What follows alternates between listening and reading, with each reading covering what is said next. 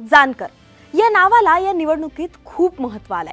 आघाडी असो की महायुती सगळ्यांनाच जानकर हवेत.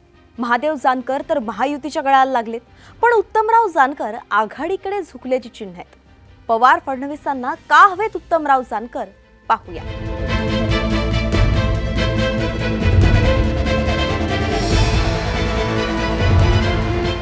माढा मतदारसंघात कधी नव्हे अशीच चुरस दिसतीये.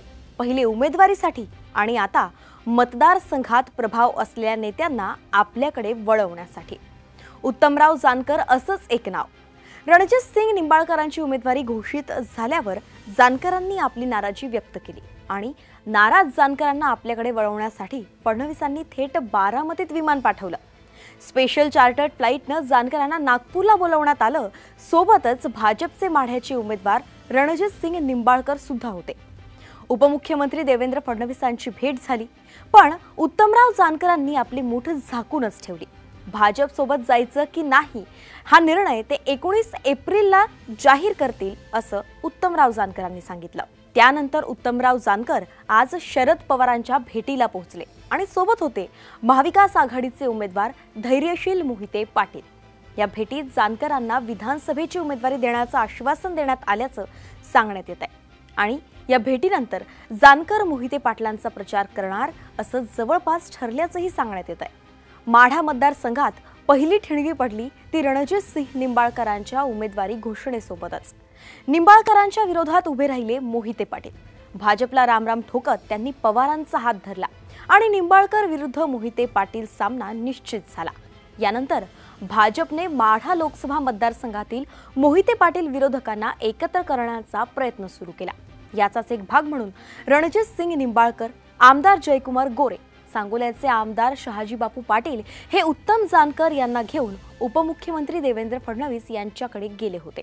उत्तम जानकर यांच्यासाठी बारामतीहून विशेष विमान करण्यात आलं होतं. या भेटीनंतर जानकर यांनी नागपूरमध्येच संवाद साधला.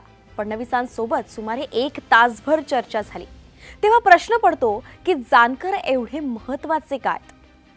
माढा लोकसभा मतदारसंघात धनगर मतांचं प्रमाण लक्षणीय आहे. हा मतदार निवडणुकीचा निकाल फिरवू शकतो.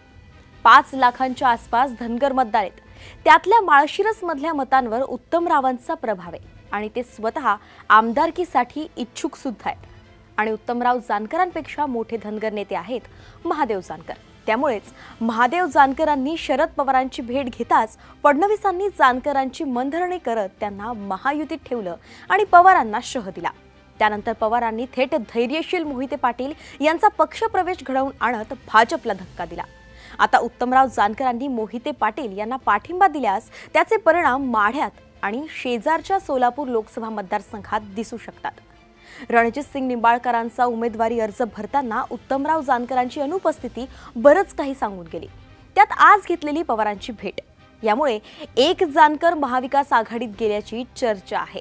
तेव्हा माढा मतदारसंघात जेवढी चर्चा उमेदवाराची आहे तेवढीच जानकरांची पण आहे असंच दिसतंय.